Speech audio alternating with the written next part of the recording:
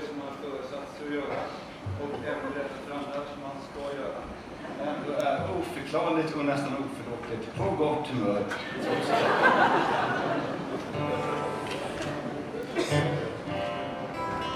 Det är inte tillfälligt på de andra. Och han har detta som jag sa att du vet, man kanske inte är den bästa i, i, i köket. Men, titta på de andra då?